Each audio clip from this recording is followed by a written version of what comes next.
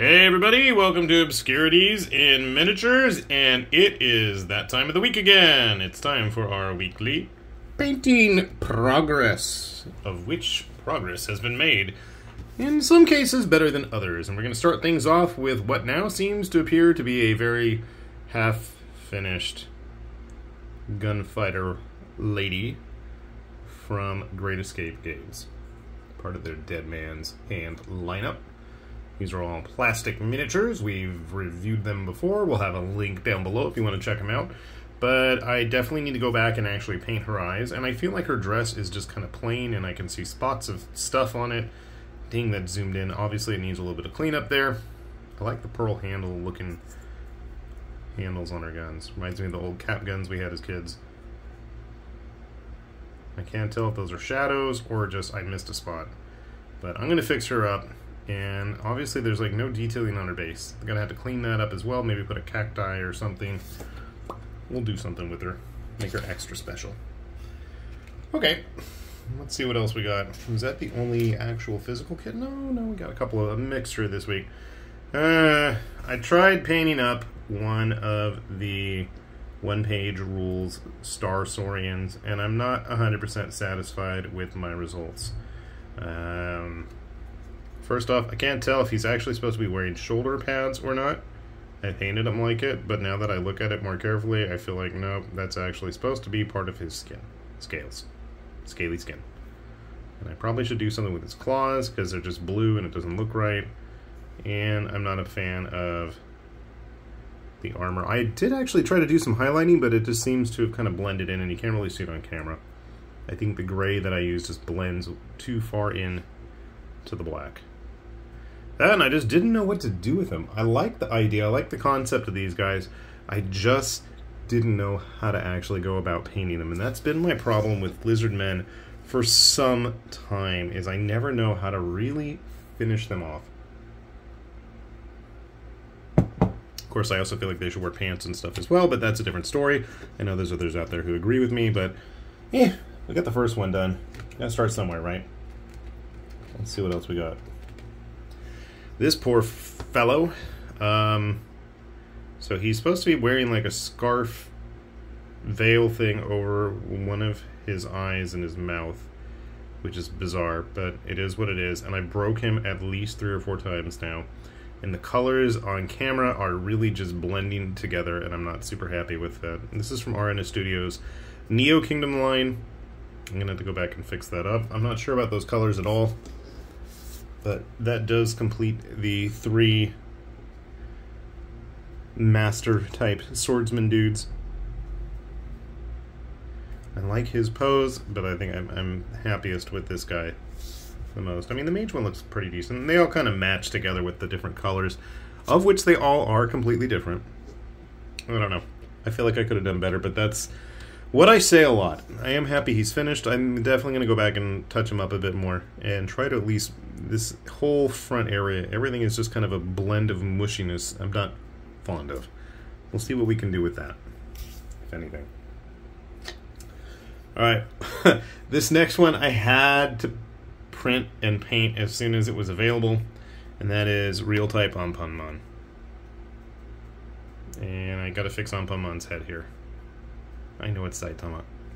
You guys do know that One Punch Man is totally Anpanman. I mean, the costume is literally just the exact opposite. He's got a red suit with yellow gloves and boots. Considering how many years I had to watch that with my own children, with my nieces, that just dawned on me. My nieces were so into Anpanman. But yeah, Saitama is done. It came out pretty cool. I don't remember the last time I looked at the manga. It was like on like volume three or something ridiculous. So that was from RN Estudio as well. And then I started goofing around trying to paint up those Drunes. I showed these off the other day. I don't know about that color on the shield. These are from Warlord, part of their Slaine 2000 AD game. This is the individual warband. I have not painted them all yet.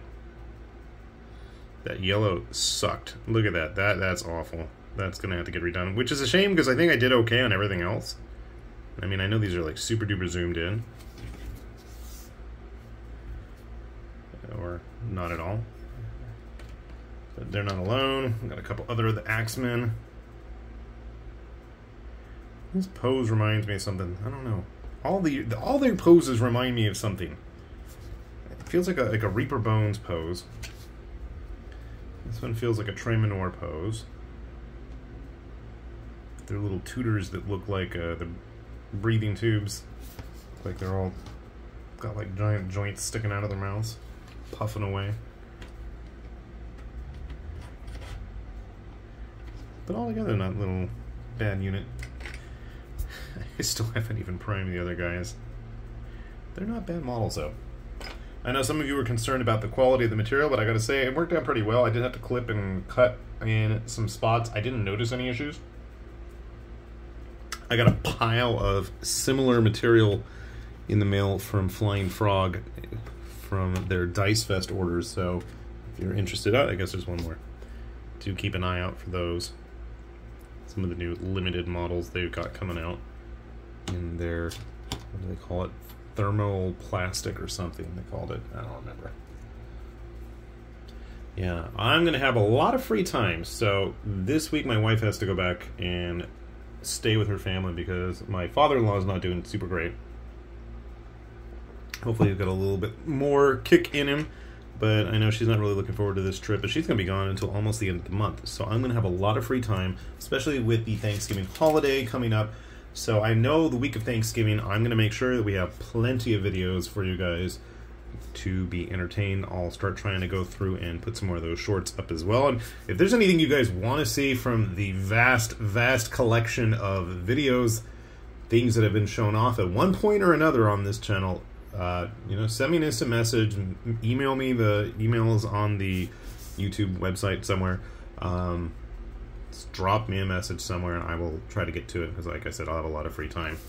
Moving on, we have Ratori Hanzo. This is another of the Ghamak. Why it does that? Stupid cheap sealer. Another of the Ghamak ninja rats, and I was trying to make like little scribbly sketch marks, and I don't know, it just looks like a mess. He came out okay. He's still a little glossy on the front. I'm not sure if he's supposed to be any specific warlord type or if he's just a generic samurai rat. But with all the other rats I got hanging around from the last time, this little midget one. Between them and all of the stuff that uh, Titan Forge is doing this month, they've got a bunch of rats as well. And actually, Ghamak has more coming too. So I'm going to keep an eye on those. Why they had to be a bajillion pieces, I'm not sure, but... Alright, this is a funky one, and I didn't do the best job, so my apologies. Uh, I kept this thing glossy on purpose. It's supposed to be like just shiny darkness. This is the, what was it called? Dark Inferno, wasn't it? I forget, was this from 3? It's from one of the Kingdom Heart games. But, uh, this is from Irnkman's Minis. We're still one of the very few people who are trying to actually go and sculpt up a lot of the games and stuff that I have always enjoyed playing. And he is completely see-through. He has that nice hollow heart shape in the middle of him, as he's supposed to. Something out of Final Fantasy almost, but you know, it is a Square game, so, you know. And finally, it's not a week we go by without another Kingdom Death model. This is the male Dung Beetle Dancer. And it's been a while since I've had to paint such rosy cheeks on a male model. But I thought I did okay. I didn't know what to do with his armor or his scarf because number one, I played around with the colors and I didn't feel satisfied with everything.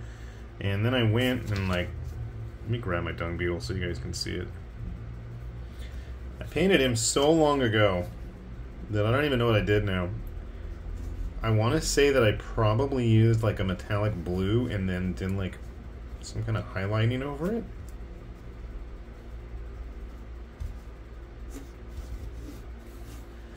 I still love the Dung Beetle. I think design-wise, one of my favorite Kingdom Death models. I painted him a long time ago.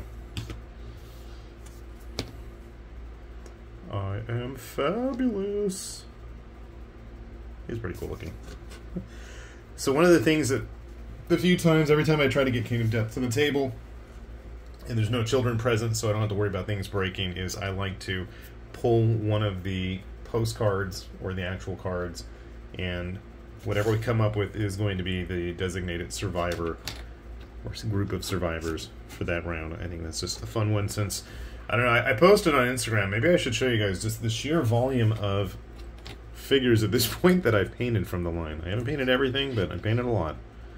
Still need to do my Sunstalker, Slender Man, Lion Knight,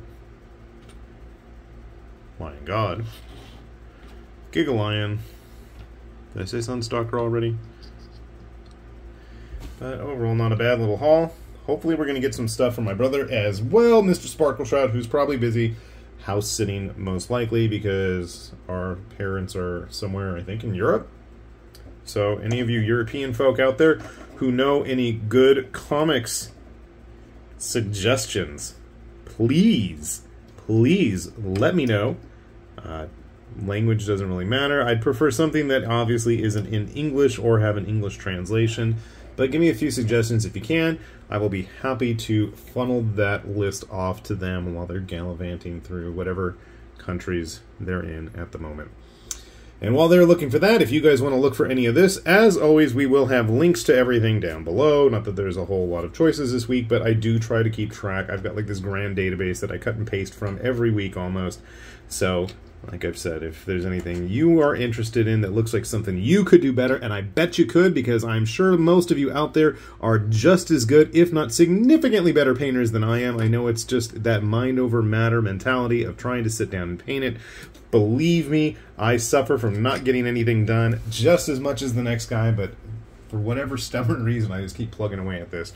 You want to share what you're doing, hit that hashtag weekly painting progress just like I keep posting all my stuff, hopefully you guys can share in the fun as well. So, with that said, this has been High Lord Tamberlane with Obscurities and Miniatures saying thanks for watching and see you back here soon.